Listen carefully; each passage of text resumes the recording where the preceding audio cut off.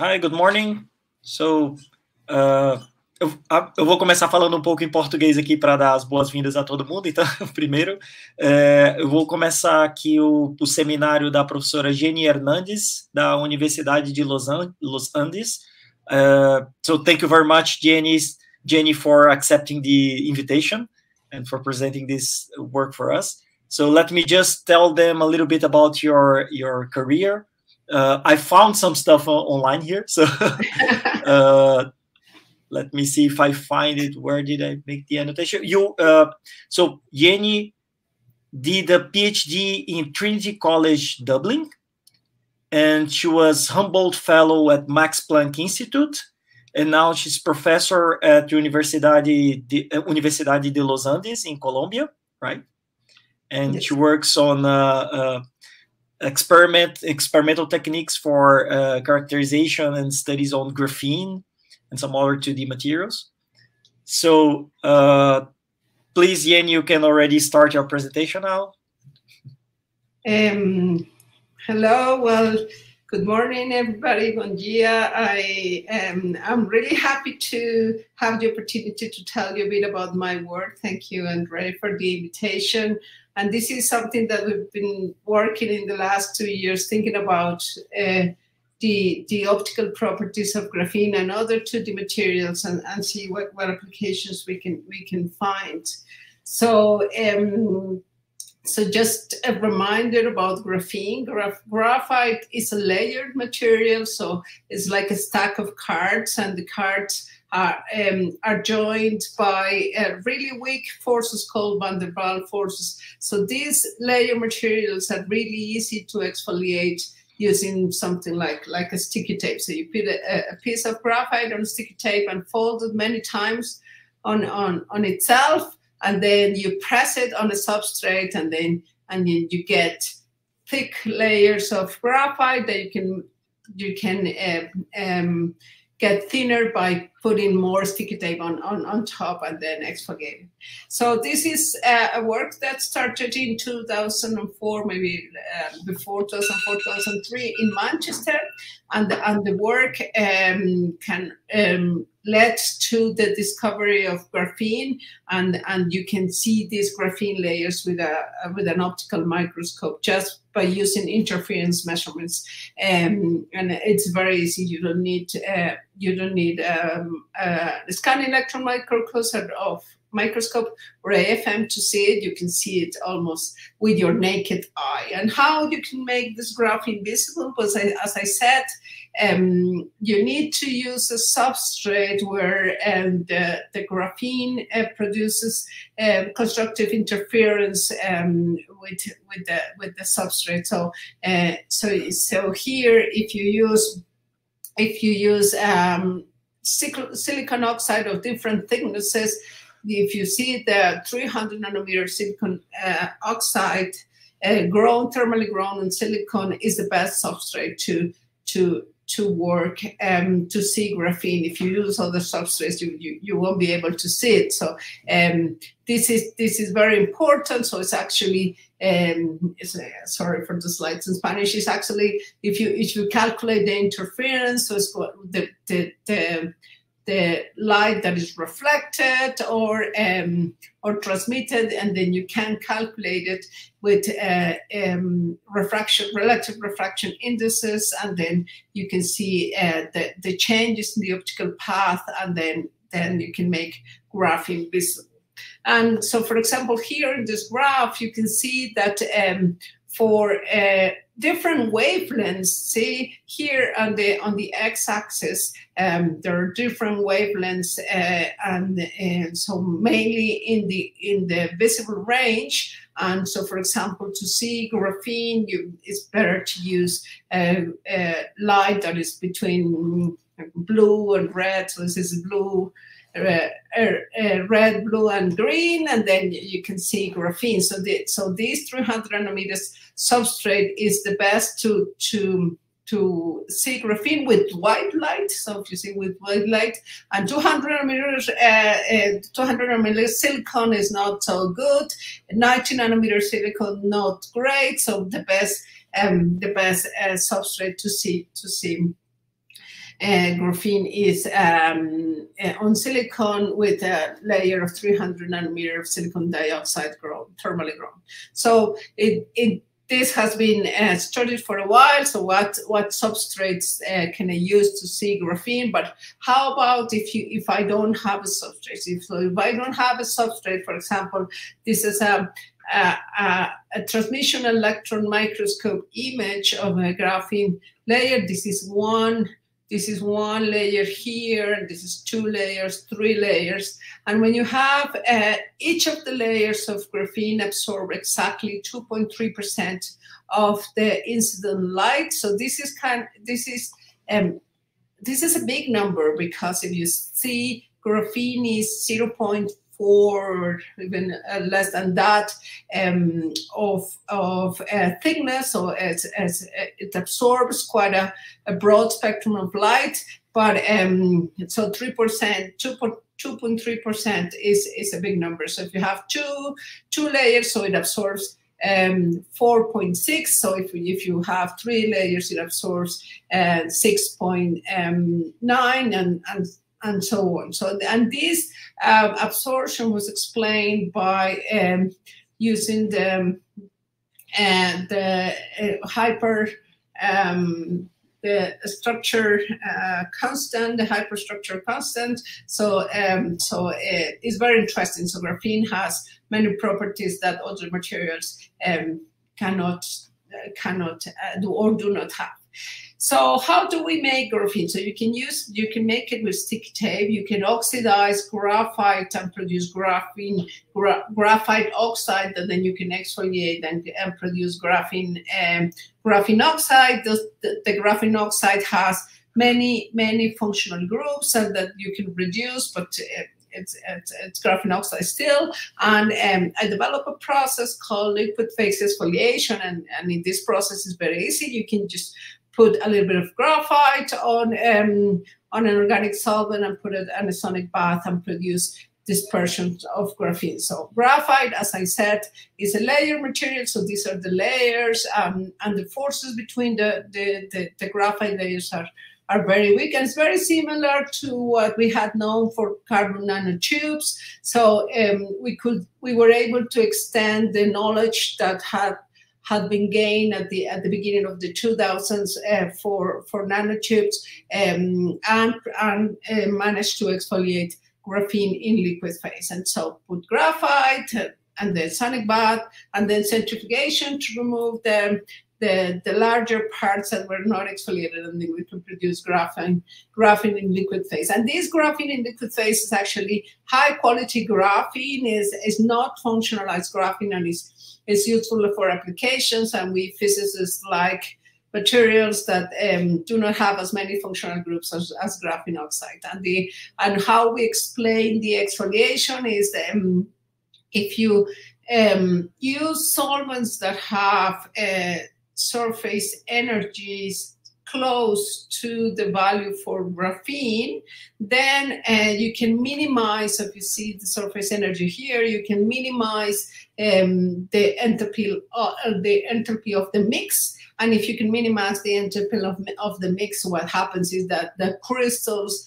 um, feel at ease and they and they swim around and then exfoliate very easily in the in the solvent. So um, we, we, we characterize back then una, um, uh, back then we characterized uh, an optical absorption coefficient for, for graphene um, that um, we decided in the last two years to correct because we noticed that people were using the, were still using this value even though we had reported that value almost uh, 10 years ago and, and, and it was important to, to correct the value. So uh, this is the value that we, that we reported um, more than 10 years ago, maybe uh, almost 15 years ago. So uh, 14 years ago. Uh, and the solvents that you can use for the exfoliation are within this range. So this is, um, here we have dimethylformamide and methylpyrrolidone and other solvents with, with surface um, uh, tensions around 40.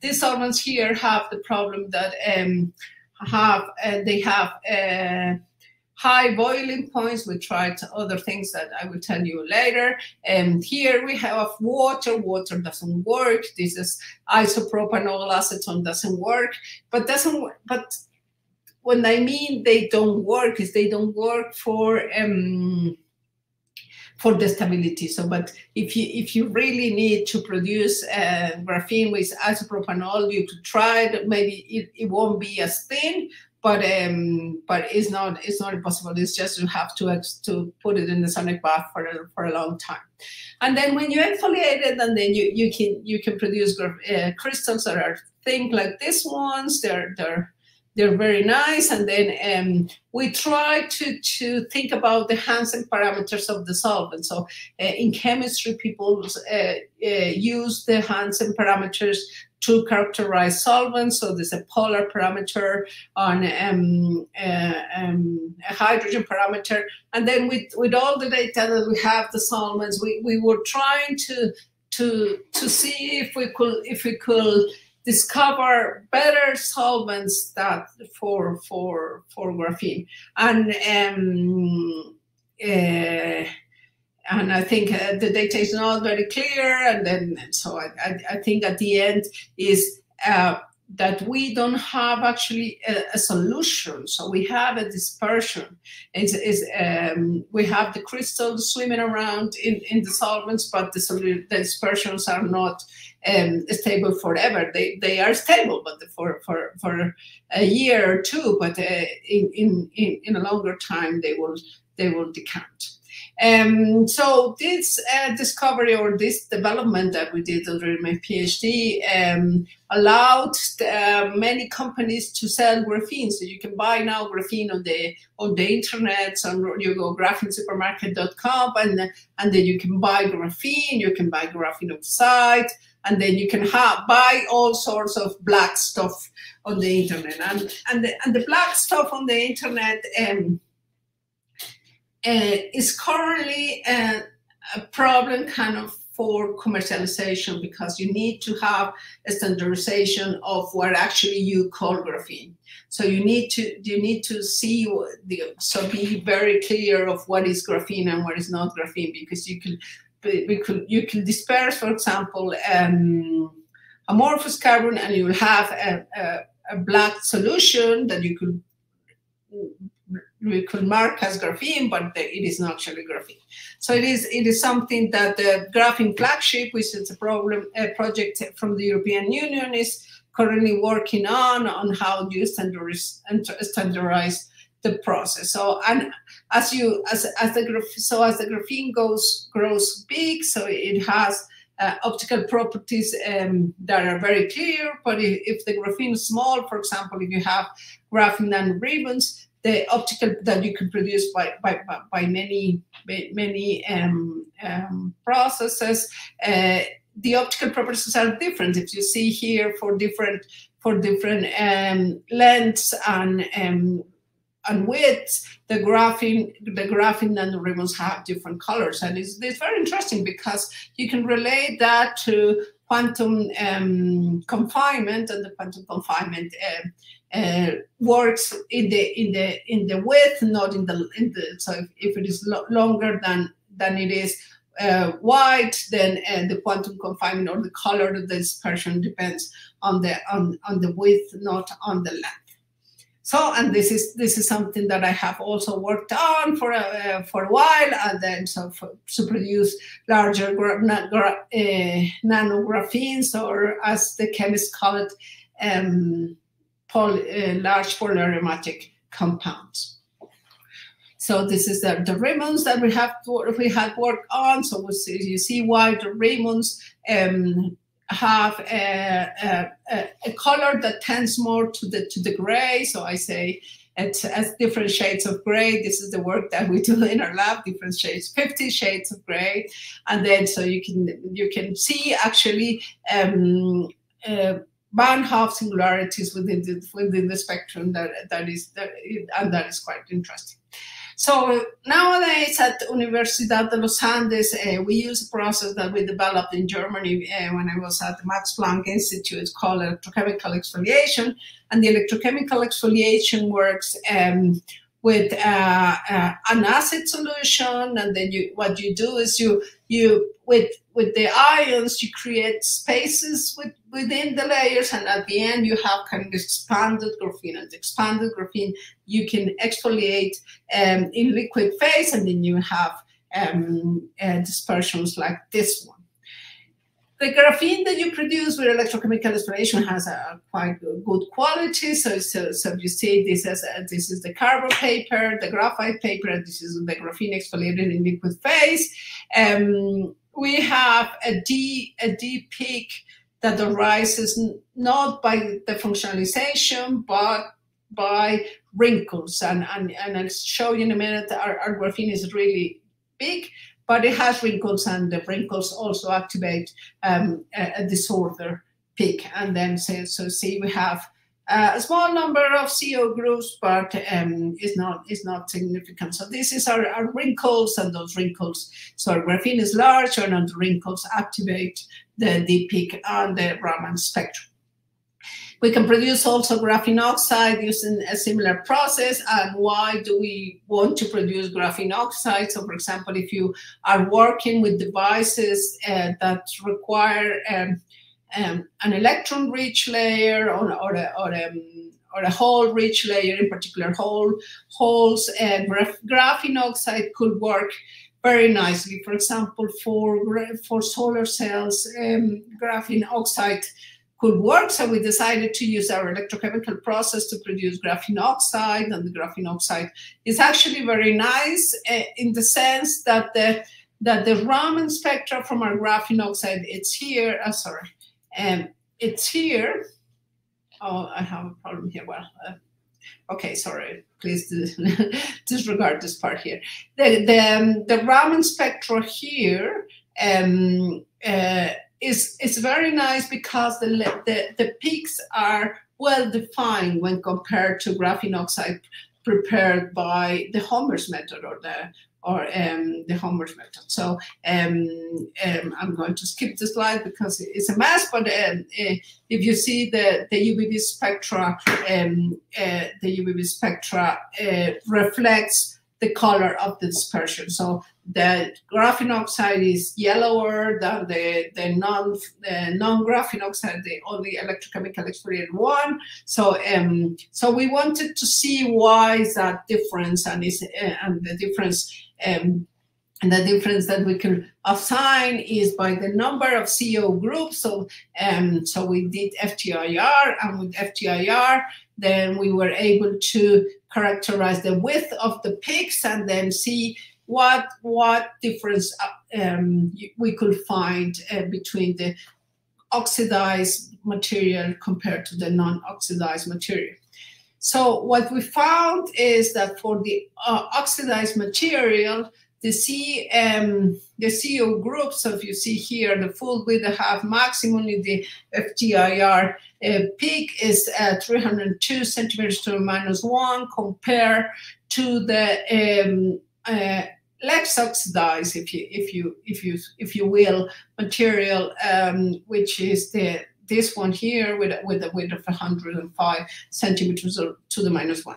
So the electrochemical process induces um, a certain number of CO groups, but it's small compared to the um, material produced at higher um, acid concentrations. So, um, and then we can we could compare. So we were studying this for a while because we could we wanted to see we wanted to see uh, what the difference in the extinction coefficient. So, as I, as I said, people were using uh, people using the absorption coefficient that we reported 14 years ago uh, still independently if it was graphene oxide or if it was unoxidized graphene or liquid phase exfoliated graphene. And we were like, well, it's actually different. The absorption coefficient for um, uh, the unoxidized um, material is uh, 1,414. Um, and uh, for the oxidized material is 648 so it's different. You could you cannot use the same uh, absorption coefficient for a graphene oxide when compared to um, uh, an oxidized graphene. And this is very important for standardization. If you're going to sell black dispersions around the world you should be able to tell your your, your customer what you're selling them so um, this is what we we we worked uh, uh, for a while during, during the pandemic. So maybe we, we, were we were studying this spectrum for a long time with my student. Uh, so we we characterize how how this uh, uh, extinction coefficient changes with wavelength. And so this is this is very interesting because you would think that the, the, the extinction coefficient is um, linear with the, with the wavelength, goes linear with the wavelength, but we, we realize it, it doesn't. So um, this is, uh, we, we created a model, a model for that. And then the model, we say, okay, so we have these exponents here, um, uh, this exponent here B, and this constant A, and then how we can relate those constants to what we're seeing. So what we, what we did, so we did Tauc plots. Um, uh, with Tauc plots, we were able to um, characterize the optical extinction coefficient of an oxidized graphene when compared to graphene oxide. So, so the difference in the optical uh, extinction coefficient um, is due to a larger band gap for the uh, oxidized material. So this is this is our our our theory that we wrote for the uh, CO groups, um, the, the, the, effect of the CO groups in the optical band gap. So this is the, the theory that we worked for um, for a long time. And uh, so this liquid phase exfoliation is very interesting that you can extend for other 2D materials. So um, there are thousands of 2D materials. The most famous ones recently are the transition metal dichalcogenide. Um, and as if you put those transition metal dichalcogenide in, in solvents, then you can you can exfoliate them as well. So you can get uh, dispersions of molybdenum disulfide or the tungsten disulfide. Um, well, boron nitride is not a, a, TMD, but it's also a layer material. And um, so we we we wanted to exfoliate the MoS2 and and and, and tungsten disulfide to see if we could if we could produce um, piezoelectric materials. And why piezoelectric? Because um, these materials, when you exfoliate them, um, the structure changes. Um, the structure changes and then they become non-centrosymmetric. Normally they are very centrosymmetric and when they are very centrosymmetric, you, you, you won't see optical, um, non-linear optical effects. But as you exfoliate them, the non-linear optical effects appear. And it's very interesting because they appear for um, uh, odd number layers, so one layer, three layers, five layers. And the even number layers two, four, six, they don't, they don't, um, they, they are centrosymmetric. So we wanted to bring our material to the nearly to the monolayer. So we exfoliate them for a long, long time. Our dispersions are, are very clear, but we have material there. And, um, and then we wanted to study the optical properties through two measurements, uh, mainly um, ellipsom, ellipsom, optical ellipsometry and, and it is, is very interesting because we were able to compare our results here in, in, in red and green with the results measured for a single layer exfoliated with sticky tape.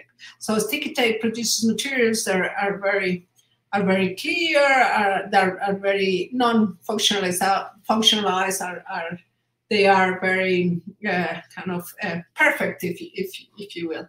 So we, we, we use uh, MoS2 tungsten disulfide and we characterize um, the, the optical, uh, the, the ellipsometry measurements and it, it's very good. But interestingly, we found, so we, we, want, we went to the fluorescence spectrometer And in the fluorescence spectrometer, we found that um, we were seeing a half harmonic peak. So if you if you if you um, shine the light at different wavelengths, and so we well, that's what we were doing. So um, pumping different wavelengths and, me and measuring where the half harmonic peak was. And so this is uh, the, the bulk material, this is the exfoliated material, bulk exfoliated material. And so in the, in bulk material, um, even though uh, we wanted to attribute this, this um, material, this effect uh, purely for the exfoliation, it somehow can be seen in the bulk because the bulk is not a bulk. The bulk is a powder. We start from a powder. So mo most uh, researchers start from a perfect crystal that they exfoliate with stick tape. We start from the powder, so, so there's a small signal there. But um, we we um, we demonstrated. So you see here the red and the uh, the red and the green curve. Um, uh, showed that the, that the half harmonic um, signal that we were um, we were um, seeing is stronger than the than the than the powder material. So this is something that we um, uh, we attributed to to the to the exfoliation. We were able also to see uh, piezoelectric effects, and um, so to corroborate that uh, we were that exfoliation was was uh, successful, and then then non-linear optical effects can studied from can be studied from this and and uh, we, we were lucky because uh, normally measuring a non-linear optical properties is very difficult. Um, there, there are several groups in, in, in Brazil that, that do it and um, they're very good, but it's very difficult. And to do it in, in, in the material that is polydispersed, uh, it's is is even more so. And then we were lucky that we were able to see the signal in the fluorescence spectrum. So yes, so this is the, the, the graph that you cannot see um, very clearly. So the graphene oxide looks yellower when compared to the to, to the non-exfoliated material. So this is the UV-Vis uh, absorbance, and then um, and then then see here there are two peaks, and this peak um, arises through the, the, the functionalization is shifted. So um, uh, and shifted to the blue, uh, so blue shifted, and then we characterize um, an absorption coefficient that people can use for their dispersions, and, and it's it's different if you have graphene oxide compared to non-functionalized graphene. But and also um, we studied the, the MoS2 and tungsten disulfide crystals exfoliated in a liquid phase, and we were able to see um, non-centrosymmetric features um, through, due, through, due, due to the exfoliation in liquid phase. So um, this is um, the, the, the, the, story that I wanted to tell you. Um, and uh, thank you very much for the invitation, and I'm, I'm here for your questions. Okay, so thank you very much for the presentation. It was very clear and uh, very nice. So uh, now the session is open for questions and comments. vou abrir agora a sessão então para comentários e perguntas. Então o pessoal aí da, da audiência que quiser fazer perguntas é só escrever aí no chat, certo? Aí, enquanto isso eu vou fazer aqui algumas perguntas que eu já tinha anotado aqui antes, certo? Uh, so uh, let me also make some questions that I I I took some notes here while you were making the presentation. So, ah, uh, regarding the process that you are saying that use this, um, it's I think in, I think they call it sonication. Is that is that how yeah. they call it? Yeah. So in this process, how can you guarantee that everything that you have there is monolayer graphene? Because it, can it be that you have some kind of a dispersion that combines uh, monolayer, bilayer, trilayer? So how do you separate these things, and is it possible to to separate these things? Uh, yes. So um, uh, what we're doing at the moment, so in the, in the results that I'm showing here, we we we we didn't try um, so we, we use centrifugation to remove the, the thicker parts to assure that we have that we have um, and more layers than the others. Um, however, recently we're using um, lithium intercalation for the exfoliation, and with the lithium intercalation, we have thinner crystals, but they're larger. And and the good thing with this is that we are um, separate them through centrifugation, and it's called um, uh, gravity. Uh, for ultracentrifugation. So if you if you if you use uh, 2,000 RPMs, uh, you have thicker crystals than if you use 3,000 RPMs. So we can separate the the, the thicknesses through centrifugation. So that's what we're doing um, uh, in uh, this year. So we ha we have some results with optical properties that are very nice, and um, and then then we can we can uh see with with the different thicknesses. Yeah. Okay, because I uh, regarding the quality of the work, I think it of the the sample, I think it's very nice because it uh, usually exfoliated graphene will not have these problems of uh, that you have when you have when you nucleate carbon layers in different regions and then you have some cracks or or some yeah. Uh, grain boundaries and stuff like that, and that that is not an issue in in what you have, right? Yeah, exactly. But then. Uh, you, you have to start with good material though, because for yeah. example, uh, if you start from graphite obtained from from Brazil, it's very nice, and there's a company from Brazil that sells graphite for exfoliation, and then you, you can use um, kind of a kitchen sieve to to to start with with, gra with graphite, and you, and then you can exfoliate it um, in liquid phase. Mm -hmm. Yeah. So uh, some of our professors here are congratulating your work here. So uh, Professor Paulo de Tarso is uh, also working on uh, experimental physics here in our department. So okay. he says congratulations for the beautiful work. And also Eduardo B. de Barros, nice work, thank you. Okay, thank you. And one more question, like uh, uh, another, I'm curious about it because I'm a theoretician. So, so once you you obtain the the solution with or dispersion. I don't know if is there a difference. Yeah. yeah, dispersion, right? Yeah, Once the, you obtain the, the don't like the, that yes, say solution. we have better say dispersion. Yeah. So then once you have the dispersion, are you able to separate the layer and put it on some substrate somehow with a with a kind of a teaser tweezer or something? Or you always have to investigate it in, in form in the form of a dispersion? Well, the good thing with that when you when you exfoliate in, in, in dispersion that, that you characterize in dispersion form is that you don't have to touch it. That's why I like yeah. spectroscopy so much. But um, what what we do is that we put drops of the dispersion on silicon, for example, and then we we carefully um, uh, dry the drop, and then the crystals remain there. So um, uh, so we can do it, on, or or we can recently we're, we're, what we're doing is that we are doing dip coating. So we put the substrate down and then we kind of wet the substrate with the dispersion and then a layer can deform. So, or, or we have also, used um, a spray coating. So with spray coating, you paint on substrates and then you can produce a thin layer of the material. So um, we, and also what we, we have uh, painted um, or use a screen printing that the artists use a lot to, to produce to put graphene on, on fabrics and then we, we, we, we work on thermoelectrics as well so and then we measure the thermoelectric properties of the fabric. And so yeah so all, all the forms that we, we can find we can find okay. to, to, to produce. Is this too easy to transfer somehow right? Yeah yeah yeah so there there are ways to there, there are ways to do it yeah yeah. Okay. And now more on the theoretical side, there is this uh, slide that you showed with the uh, optical band gaps of the CEO groups. Yeah.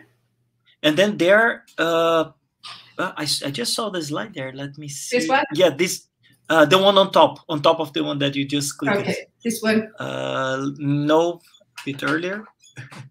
earlier. Yeah, this one. No, yeah.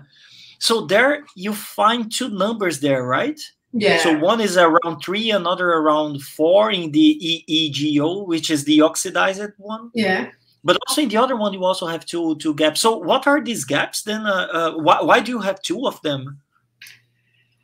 Yeah, well, what we do here is that um, this is this is a, a, a, process that is kind of an approximation where the optical band gap uh, should be. So if you see here in the in the UV-Vis spectra, you see these peaks here, these peaks here, and yes. then and then um, the met the Tauc plot method. What what the Tauc plot method does is that it converts this the wavelength to energy and the yeah. here on the and then on you extrapolate the line right okay and on the y-axis you have absorption with energy and yeah. this exponent uh, depends if you have a direct semiconductor or indirect semiconductor.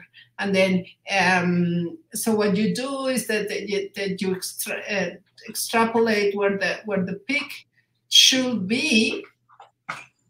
And um, so where the and then this uh, gives you an idea of the optical band gap. So here, if you see is wide, it should be between 1.6 and 2.7, and this uh, here for ah, okay, okay. So this is 2.9 to 3.8. So it, it's natural that the graphene oxide should have a wider band gap. It's, it's, it's an insulator, an insulator because it has many functional groups compared to the unoxidized material. So, and, and the wider band gap is what gives you the color. So is uh, for the graphene oxide is yellower compared to, to to uh, unoxidized graphene. So unoxidized graphene absorbs in, in a wider range of, of, of, of wavelengths and, and graphene, oxidized graphene um, prefers to absorb in this wavelength. So, um, so that's what, what that's why um, the color is different. Okay. So, are there more questions from or comments from the audience? Tem mais alguma pergunta aí do pessoal que está assistindo? Se tiverem, eu vou dar aqui uns 5 segundos para vocês escreverem aí, ou 10 segundos mais ou menos. You can write it in Portuguese, maybe I can. I can yeah, try. maybe, yeah. Yeah, exactly. I can try to, to answer. Vocês podem, se quiserem yeah. escrever perguntas em português também, não tem problema. Viu? Uh -huh.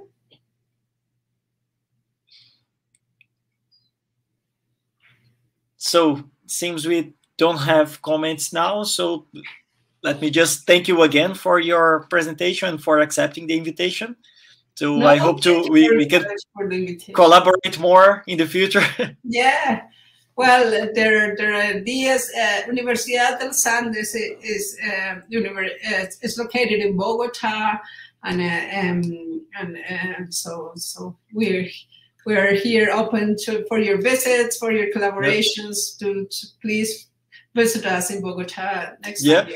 No, we used to have a direct flight from Fortaleza to Bogota. Once I took it, just to, to as a tourist to, to visit yeah. the city. So it was a six hours flight or something from yeah. Avianca. But I think we don't we no longer have it. But it was very convenient at that time. yeah, yeah. Uh, hopefully hopefully soon avianca will, will will restart the flight and then because uh, yeah. yeah. We are close but we're not so close because yes indeed colombia and brazil are, are yeah. really really far apart so yeah. um, thank you very much again for the invitation and um, so here uh, so if, if you have more questions do not hesitate to to send me an email and then and then I can, I'll be happy to reply. Okay. So thank you very much and see you. okay. you. See you. Bye. Bye. Bye. Good day.